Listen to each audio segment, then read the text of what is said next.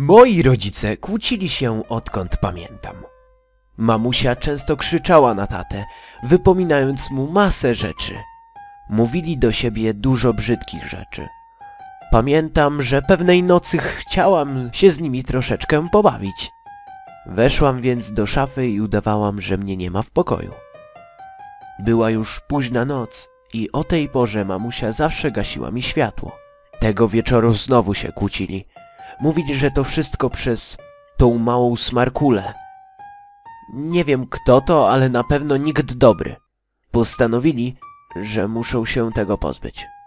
I wtedy mamusia poszła mi zgasić światło.